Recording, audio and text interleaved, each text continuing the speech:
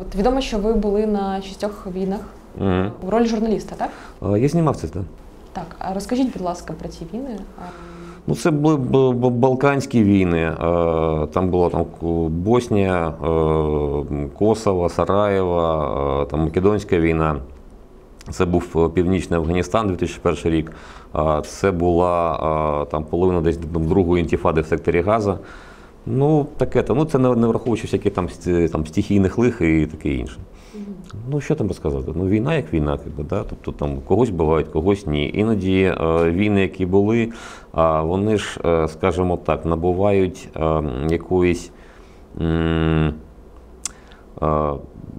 елементів е, емоційних саме ну, із-за того, як їх знімають. Да? Бо буває таке, що ну, що таке е, війна, наприклад, в Афганістані? Це достатньо нудне, е, буденне, тупе, тупа робота. Да? Тому що лінія фронту, вона там десь їхати там 2-3 години до неї.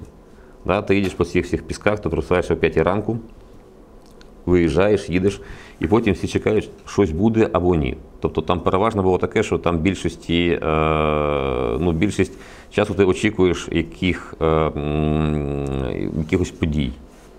А буває так, що е, події починають розгортатись дуже швидко і неочікувано. Та? А, тобто, але переважно а, такі речі, якісь там екзотичні війни, ну, це більше очікування, і там е, ти шукаєш цю війну, щоб там щось показати, бо редакція в Києві не розуміє, що там робиш взагалі. Іноді тобі, умовно кажучи, щастить і починається там піщана буря, ти лишаєшся на цій передовій а, і розговорюєшся з командиром, який там достатньо непогано розмовляє російською мовою, тому що він був це він, типу, зараз там командир Північного альянсу, а раніше він був одним із командирів отрядів маджахетів, які воювали проти радянської армії. І він каже, що так було класно, коли ви пішли.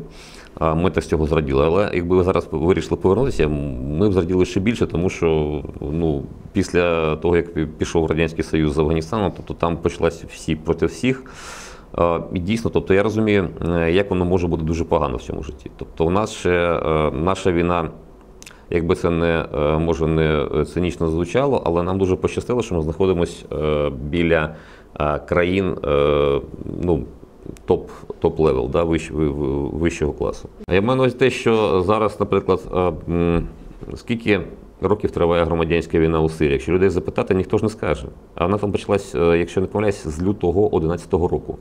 А, і там лише по е, даних, які е, підтверджені, там загинуло знову ж таки. Це дуже достатньо жахливі цифри, але е, оскільки це дуже далеко від нас, ми їм так нормально жбурляємось. Близько 300 тисяч людей цивільного населення. То ви просто собі на секунду уявіть, що таке 300 тисяч вбитих людей. Да? Реально там їх більше, тому що коли кажуть там авіаналіт там по школі, там по лікарні, розумієте, а, дають дані тих а, людей ну, загиблих, ті, це ті тела, які дістали.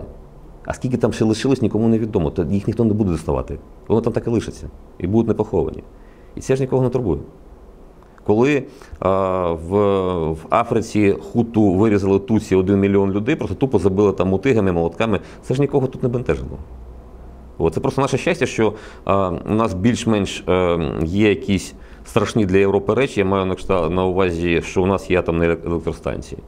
І найбільше жах це повномасштабні військові бойові дії на території Європейської України, де є достатньо велика кількість ядерних блоків. Це їх лякає. Якби ми були десь це був Киргизстан, повірте, це б нікого не хвилювало. Як це це не цинічно звучить, а в 2014 році нас е, врятував е, збитий Боїнг. Бо якби це насправді був Ан-26, повірте, всьому світу було дуже байдуже, абсолютно. Це все було б ну, просто по символах.